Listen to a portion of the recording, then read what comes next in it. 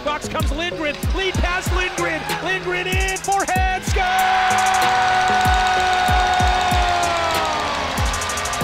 Give it to me short-handed, says Mats Lindgren.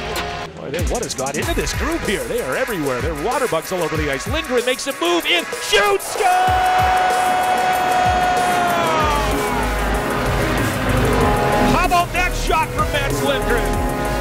Wing side, the Blazers control on the wall. A little give and go. They score. Lindgren.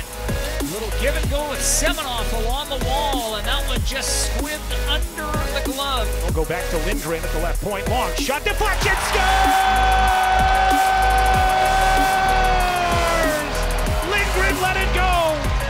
Pentecost almost gave it away there and gave Kamloops a chance in the slot. They didn't. Oh, and a weak one slips in.